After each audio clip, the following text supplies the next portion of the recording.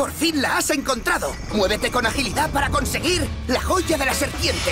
Tendrás que acercarte con mucho cuidado. Si sus ojos están rojos, párate. Que no te vea. Pero cuando estén verdes, vea por la joya. Muy bien, ahora tú. Avanza en verde y párate en rojo, porque si no, te morderá. La joya de la serpiente, de IMC.